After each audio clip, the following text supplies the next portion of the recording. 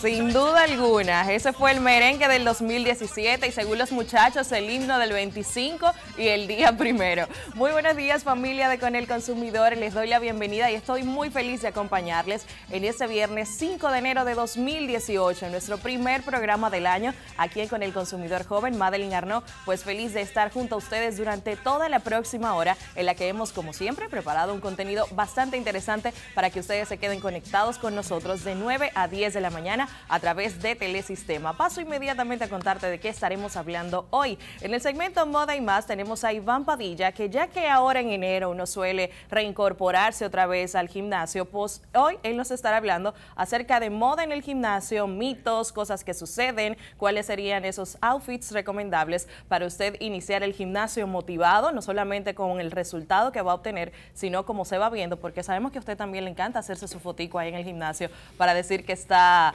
haciendo ejercicio y bueno, propiciando los cambios para este nuevo año. Por otro lado, tenemos a Yamel Mora en el segmento Mamá y Bebé, que tratará un tema que yo sé que a muchos de nuestros televidentes le causa eh, intriga y que están muy pendientes a esto y es de cómo hacer que el retorno a clases de nuestros niños que estaban de vacaciones ahora en Navidad sea lo más tranquilo, placentero y cómodo posible, tanto para ellos como para los padres. Así que Yamel Mora hoy en Mamá y Bebé tiene una invitada que nos estará hablando acerca de ese tema, así que te invitamos a que te quedes conectado y a que también te unas a la conversación vía redes sociales, arroba con el consumidor o a través de los teléfonos que también podrás ver en pantalla en breve para que nos llames aquí al estudio. Además de esto,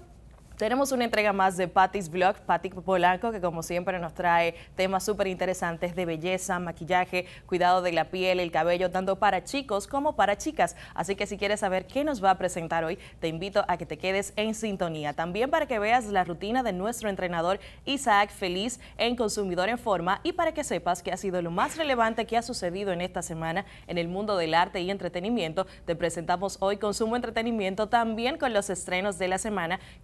este jueves se estrenaron cinco películas, géneros distintos y tramas bien interesantes que podrás disfrutar a partir de esta semana en las salas de cine del país. Esto y mucho más hoy en la mañana de Con el Consumidor Joven. Síguenos en redes sociales, te recuerdo, arroba con el consumidor. Si tienes algún saludo o felicitación que enviar, esa es la vía para comunicarte con nosotros. Vamos a la primera pausa de hoy y de inmediato regresamos.